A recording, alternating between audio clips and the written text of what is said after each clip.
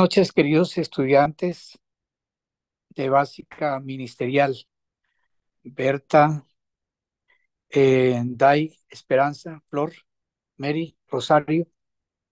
El padre que nos ha venido acompañando, el padre Lino, eh, no ha podido estar esta noche con nosotros, pero vamos a elevar una oración por él, porque ha tenido muchos quehaceres en este momento. Él es educador, tiene varias tareas que realizar y no ha logrado eh, estar en esta sala. Pero vamos a tener eh, un momento de profundización. Cuando nos encontremos nuevamente con él, vamos a tener también elementos para poder entrar en un diálogo con él en estos dos mm, momentos que vamos a profundizar, San Marcos y San Mateo. San Marcos el, es el eh, evangelio del que se crucifica, del que aquel que ha entregado la vida por nosotros. Eh, el misterio de que siempre conservó. Y vamos en dos videitos que miraremos, vamos a dejarnos guiar por ellos y en el próximo encuentro tendremos elementos para charlar con el Padre Lino. Los invito a que le demos una oración, nos unamos a nuestro Maestro en el nombre del Padre, del Hijo y del Espíritu Santo. Amén. Te ofrecemos, amado Dios, este momentico de reflexión por nuestro tutor, el Padre Lino, para que sus tareas, sus quehaceres, sean para gloria tuya, amado Dios, y para el beneficio de todos los estudiantes, de los que él dirige allí en esa comunidad educativa, como también a las personas mayores a quienes él se dirige.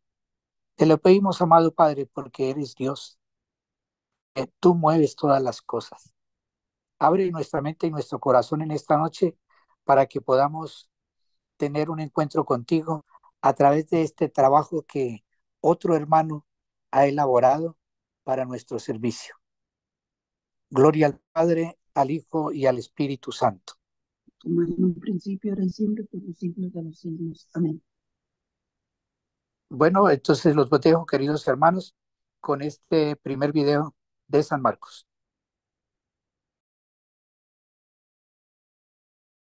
El Evangelio según Marcos. Es uno de los primeros registros de la vida de Jesús y las tradiciones históricas más cercanas enlazan este libro con un escriba cristiano llamado Marcos o Juan Marcos. Él fue un colaborador de Pablo y un compañero cercano de Pedro.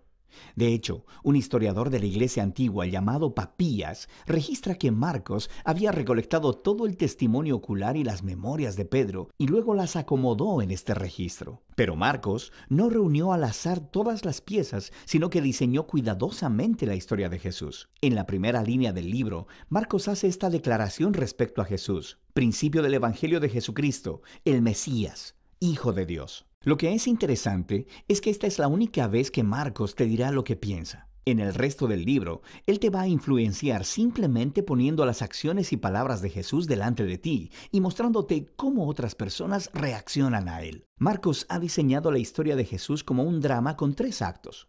El primero sucede en Galilea, el tercero en Jerusalén y el segundo acto muestra a Jesús en el camino de un lugar a otro, y cada uno de los actos se enfoca en un tema repetido. En el primer acto, todo el mundo está asombrado por Jesús y se preguntan, ¿quién es este Jesús?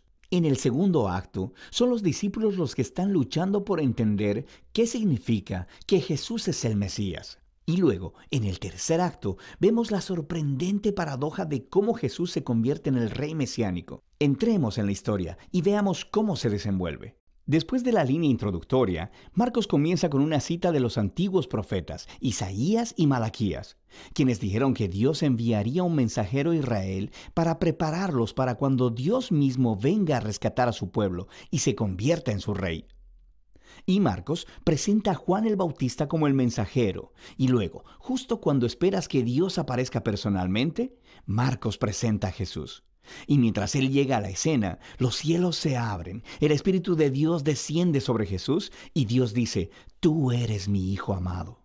Después de esto, Marcos pone delante de nosotros un resumen del mensaje central de Jesús. Él fue por Galilea, anunciando las buenas nuevas de que el reino de Dios se ha acercado. Jesús está continuando con la historia de las escrituras del Antiguo Testamento sobre la operación de rescate de Dios para su mundo.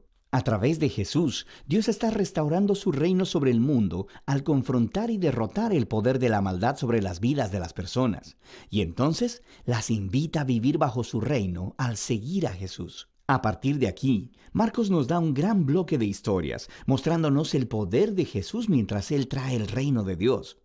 Él va sanando a personas cuyos cuerpos están enfermos o quebrantados, o bajo la opresión de poderes espirituales oscuros. Y Jesús incluso hace algo que para el pueblo judío solo Dios tiene el derecho de hacer. Él perdona los pecados. Y las acciones de Jesús producen muchas respuestas diferentes. Algunos le siguen y se vuelven sus discípulos. Otros todavía no saben qué pensar y otros lo rechazan completamente, especialmente los líderes de Israel, quienes lo acusan de blasfemar contra Dios y de recibir poder del mal. Pero Jesús no está sorprendido por estas respuestas. De hecho, Él apunta a ellas. En el capítulo 4, Marcos ha recolectado muchas de las parábolas de Jesús acerca de la naturaleza misteriosa y escondida del reino de Dios. Jesús dice que su mensaje es como una semilla cayendo en distintos tipos de suelo. Algunos son receptivos y otros no. O que es como una semilla de mostaza que es muy pequeña, parece insignificante, pero luego crece enormemente y sorprende a todos. El punto de Jesús es que Él realmente es el Mesías que trae el reino de Dios, pero no luce como nadie lo esperaba. Esta creciente confusión acerca de Jesús entre las multitudes está conectada con la idea clave que Marcos enfatiza al final del primer acto, que incluso entre los discípulos de Jesús hay confusión. Ellos también están luchando por entender quién realmente es Jesús. Y eso nos lleva al segundo acto. Este comienza con una conversación crucial. Jesús aparta a los discípulos y les pregunta, ¿quién dicen ustedes que soy? Y Pedro dice, tú eres el Mesías. Pero luego queda claro que Pedro quiere decir que Jesús es un rey militar victorioso, del linaje de David, que rescatará a Israel de los romanos. Pero para Jesús, ser el Mesías significa que Él es el rey, siervo sufriente de Isaías 53, quien traerá el gobierno de Dios entregando su vida en Jerusalén. Y los discípulos no lo entienden. Ellos piensan que seguir al rey Jesús significa ser famosos e importantes. Y Jesús deja claro que seguirle, en realidad, significa morir. como cargar tu propia cruz. Significa rechazar la violencia, el orgullo y el egoísmo, y entregar tu vida a favor de otros en actos de servicio y amor. Él tiene la misma conversación con ellos dos veces más. Y todo culmina en la importante declaración de Jesús de que el Hijo de Dios no vino a ser servido, sino para servir y para dar su vida en rescate por muchos. Los discípulos todavía no lo entienden, responden con miedo y confusión. Así que aquí, en el segundo acto, Marcos ha colocado otra historia clave que hace eco de la introducción del libro. Jesús toma a tres de sus discípulos y los lleva a una montaña, y de pronto es transformado. Él está radiante, con luz y gloria, y una nube los cubre. Ahora, esto es justo como la gloria del Dios de Israel se mostró hace mucho tiempo en el monte Sinaí. Y luego, dos profetas que estuvieron en la presencia de Dios en el monte Sinaí, Moisés y Elías, aparecen junto a Jesús mientras Dios declara de nuevo, Este es mi Hijo amado. Al colocar esta historia en medio de todas estas conversaciones en el segundo acto, Marcos está haciendo una declaración asombrosa. Jesús, el Hijo de Dios, es la encarnación física de la misma gloria de Dios. Y en Jesús, el glorioso Dios de Israel se convertirá en rey al sufrir y morir por los pecados de su propio pueblo. Esta es una declaración misteriosa que confunde y asusta a los discípulos mientras dejan la montaña. Lo que nos lleva al tercer acto. Para la Pascua, Jesús hace una entrada pública real en Jerusalén. Las personas lo están alabando como el Mesías y luego Él entra en el atrio del templo y ejerce su autoridad real al sacar a los ladrones y estafadores y deteniendo el sistema sacrificial. Entonces esto inicia una semana completa de debates entre Jesús y los líderes de Israel, condenando su hipocresía, Así que ellos preparan un plan para asesinarlo. Y Jesús le advierte a sus discípulos, prediciendo que Jerusalén y su templo serán destruidos en una generación, y que sus discípulos serán perseguidos como Él, hasta que Él regrese un día a traer el reino de Dios completamente sobre la tierra. Y todo esto lleva a la noche final. Jesús tiene su última cena de la Pascua con los discípulos, una cena simbólica que contaba la historia de la liberación de Israel a través de la muerte del Cordero de la Pascua. Y Jesús toma estos símbolos y les da un nuevo significado. Ellos apuntan a la liberación del pecado y la muerte que sucederá a través de la muerte del Mesías, el siervo sufriente. A partir de aquí, la historia se acelera al arresto de Jesús, su juicio delante de los sacerdotes de Israel y el gobernador romano Pilato, y todo eso resulta en la crucifixión de Jesús, y culmina en una escena clave que encaja con las escenas importantes del primer y segundo acto, excepto que, esta vez, es oscuridad lo que desciende y no una nube. Y en lugar de una voz divina del cielo, se escucha la voz de Jesús clamando antes de morir. Y luego, lo más sorprendente es que es un soldado romano que mira a Jesús morir, el que entiende y anuncia quién Jesús es. Este hombre era el Hijo de Dios. Él es la primera persona en la historia en reconocer la sorprendente declaración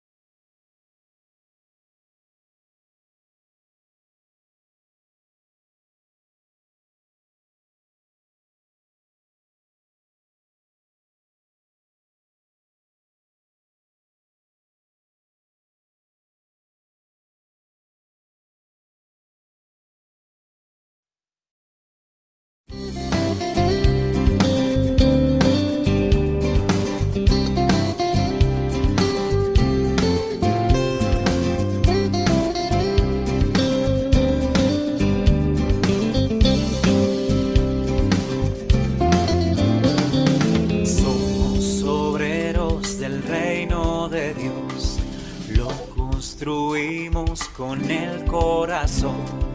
Venga tu reino, decimos Señor, danos la fuerza para lograrlo.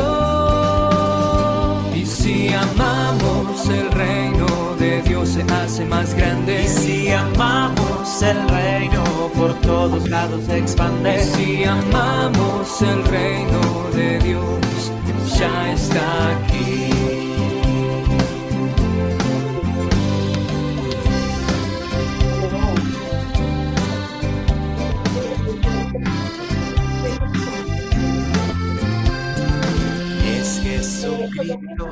Lo regaló. Él nos da vida y nos da la misión. Venga tu reino, decimos Señor, danos la fuerza para lograrlo. Y si amamos el reino de Dios se hace más grande. Y si amamos el reino, por todos lados se expande. Y si amamos el reino de Dios, ya está aquí. Y si amamos el reino de Dios se hace más grande. Y si amamos el reino, por todos lados se expande. Y si amamos el reino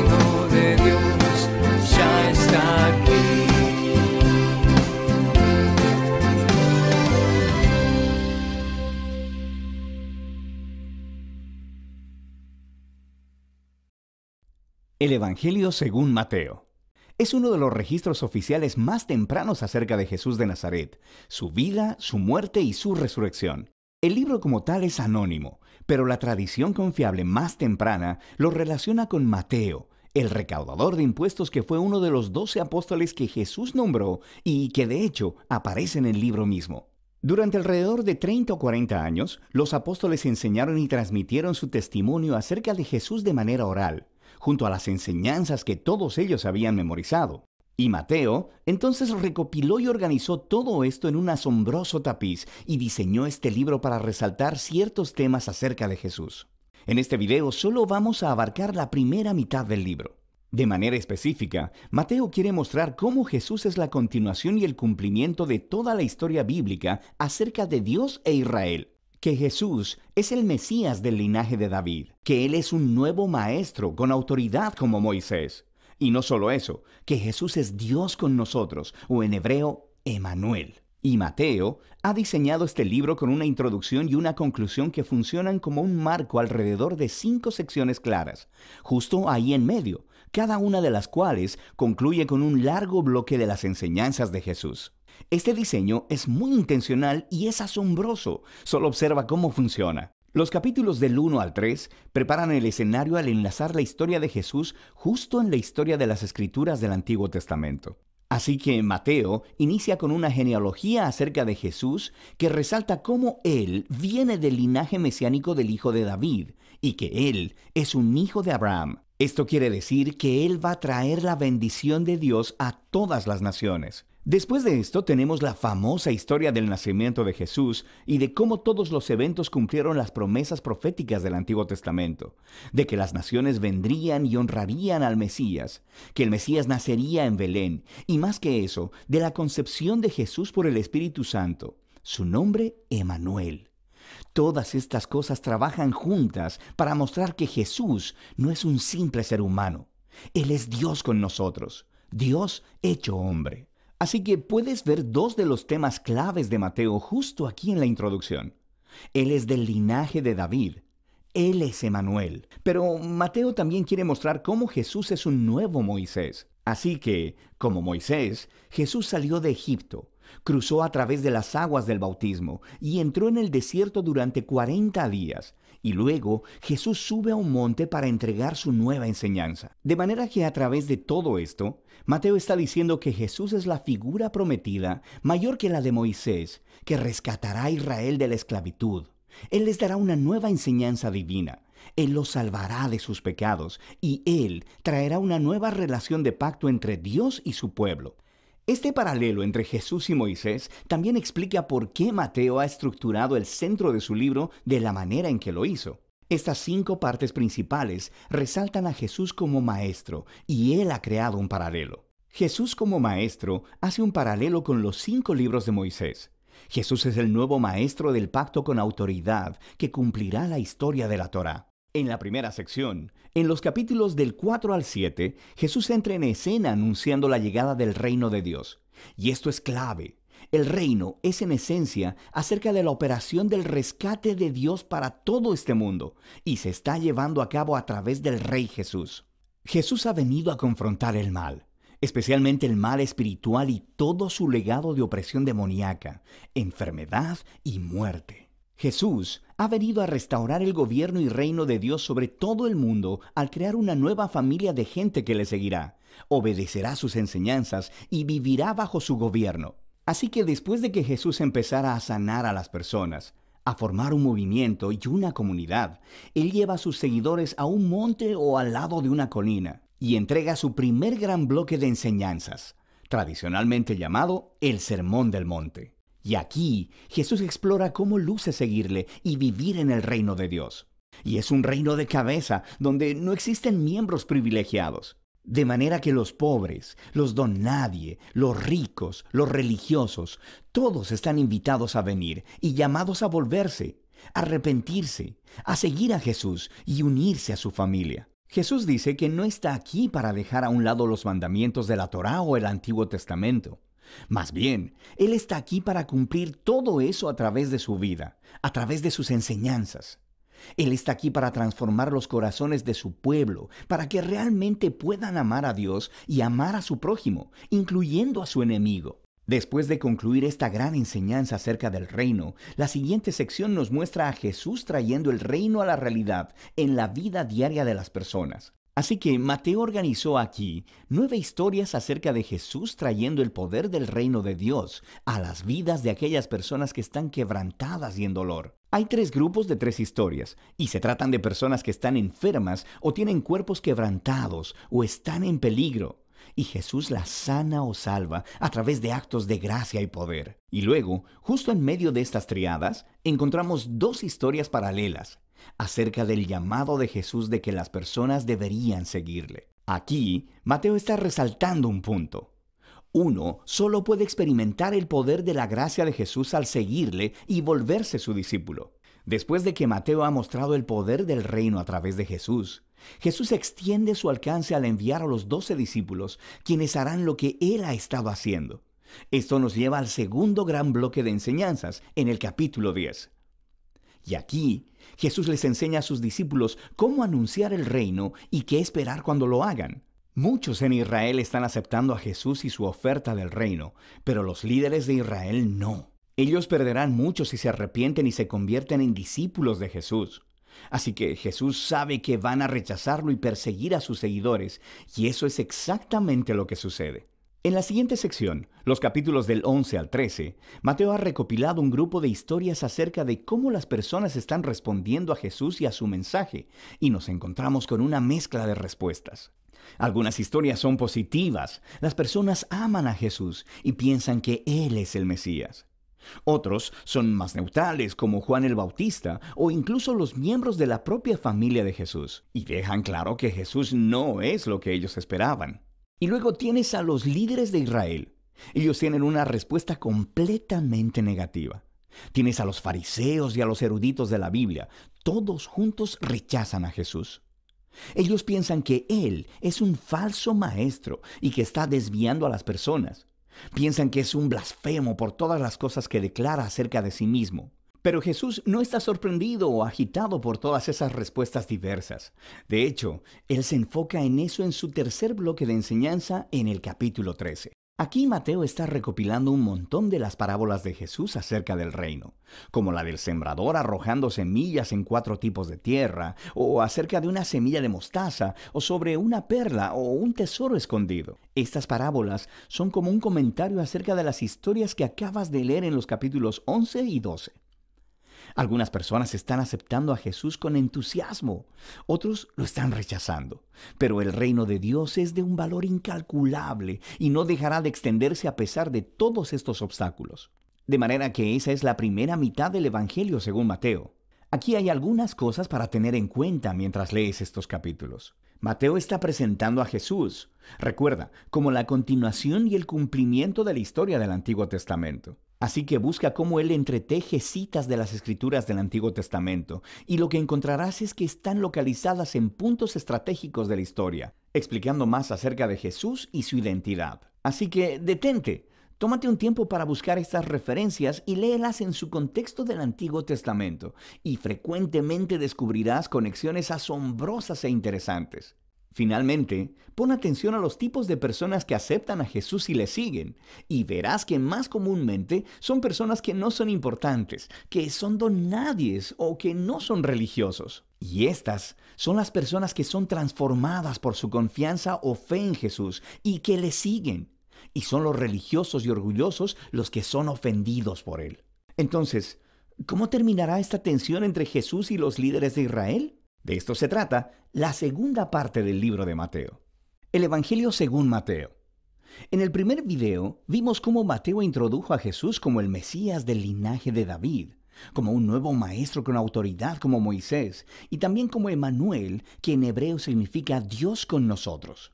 Después de que Jesús anunció y enseñó acerca del reino de Dios, y después de que Él llevó el reino a la vida diaria del pueblo de Israel, Vimos que Jesús fue aceptado por muchos, pero rechazado por otros, especialmente por los líderes religiosos de Israel, los fariseos. Así que la gran pregunta es, ¿cómo terminará el conflicto entre Jesús y los líderes de Israel? La siguiente gran sección, de los capítulos 14 al 20, explora todas las diferentes expectativas que las personas tienen acerca del Mesías. Jesús sigue sanando personas enfermas y dos veces ha provisto comida milagrosamente para esas multitudes en el desierto. Una formada por gente judía y otra por gente no judía. Y esta señal es muy similar a lo que Moisés hizo por Israel en el desierto. De manera que todas estas personas están muy emocionadas con Jesús. Ellos piensan que Él es el gran profeta y el Mesías, pero no así los líderes religiosos. Su perspectiva del Mesías está formada por pasajes como el Salmo 2 o Daniel capítulo 2, sobre un Mesías victorioso que va a liberar a Israel y derrotar a los opresores paganos. Y desde esa perspectiva, Jesús es un falso maestro. Él está haciendo declaraciones blasfemas acerca de sí mismo. Así que aquí encontramos historias acerca de su creciente oposición mientras preparan un plan para asesinarlo. Jesús responde apartándose de ellos, y él empieza a enseñarle a sus discípulos más cercanos lo que significa que él sea el Mesías de Israel, porque no es nada de lo que los demás están esperando. De manera que Jesús le pregunta a sus discípulos en el capítulo 16, él dice, ¿Ustedes quién dicen que soy yo? Y parece que Pedro se topa con la respuesta correcta. Él dice, tú eres el Mesías, el Hijo del Dios viviente. Pero luego queda claro que Pedro está pensando acerca de un rey que va a reinar victoriosamente a través del poder militar. Y Jesús reta a Pedro diciendo, sí, me convertiré en rey, pero de una manera diferente. Así que Jesús comienza a enseñarles acerca de los temas del profeta Isaías, quien dijo que el rey mesiánico sufriría y moriría por los pecados de su pueblo. Jesús se estaba posicionando a sí mismo como el rey mesiánico, que reina a través de convertirse en un siervo que entregaría su vida por Israel y las naciones. Y bueno, Pedro y los discípulos simplemente no lo entienden. Así que Jesús entra al cuarto bloque de enseñanza, seguido después por otra serie de enseñanzas. Y estas se tratan de la naturaleza del reino mesiánico de Jesús puesto de cabeza, el cual pone al revés todos nuestros sistemas de valores. Así que en la comunidad del rey siervo, ganas honor al servir a otros en lugar de vengarte, y perdonas y haces el bien a tus enemigos. Y en el reino de Jesús obtienes verdadera riqueza al entregar tu riqueza a los pobres. Para seguir al Mesías siervo, debes convertirte tú mismo en un siervo. En la siguiente sección vemos a los dos reinos chocar, el reino de Jesús y el de los líderes de Israel. Jesús llega a Jerusalén por la Pascua montado en un burro, y las multitudes están adorándolo como el Mesías. Inmediatamente, Jesús marcha al atrio del templo y hace un gran alboroto que interrumpe los sacrificios diarios. Aquí, sus acciones hablan más fuerte que sus palabras. Como el rey de Israel, Jesús estaba ejerciendo su autoridad real sobre el templo, el lugar en el que Dios e Israel se encontraban. Y en la perspectiva de Jesús, el templo había sido puesto en juego por la hipocresía de los líderes de Israel. Así que aquí, él está retando su autoridad y naturalmente ellos se ofenden profundamente. Ellos intentan atrapar a Jesús y humillarlo en un debate público, pero fracasan, por lo que al final determinan asesinarlo. Como respuesta, Jesús da su último bloque de enseñanza. Primero ofrece una apasionada crítica de los fariseos y su hipocresía, y luego, Él se lamenta sobre Jerusalén y su rechazo a Dios y a su reino. Luego Jesús se aparta con los discípulos y les empieza a decir lo que va a suceder. Él será ejecutado por esos líderes, pero al hacerlo, ellos cavarán su propia tumba, porque en lugar de aceptar el camino del reino pacífico de Jesús, ellos tomarán el camino de la rebelión contra Roma, y así Jerusalén y su templo serán destruidos. Pero Jesús dice que ese no es el final de la historia. Él será vindicado después de su muerte a través de su resurrección.